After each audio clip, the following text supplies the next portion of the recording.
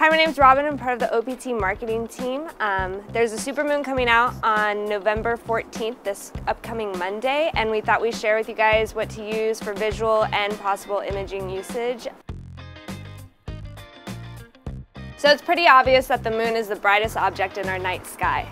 With a supermoon, it's about 30% brighter and 14% larger than an average full moon.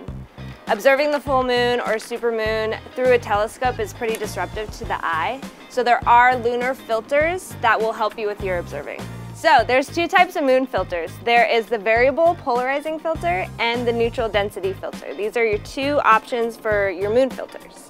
The neutral density filter cuts the brightness out by a specific amount.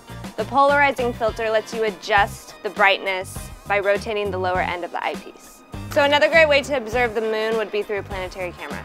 You can cut out all the filters and you can observe it through your laptop or even take some images.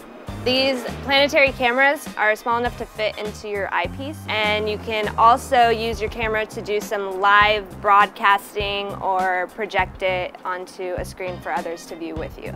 So here at OPT we have tons of makes and models of these cameras. If you have any questions or concerns, please contact us at internetsales at optcorp.com. Um, we would love to help you find a camera that works best for you.